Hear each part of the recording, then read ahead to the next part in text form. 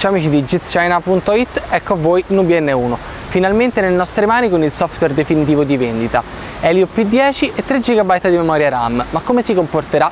Scopriamolo insieme nel nostro stress test Antutu.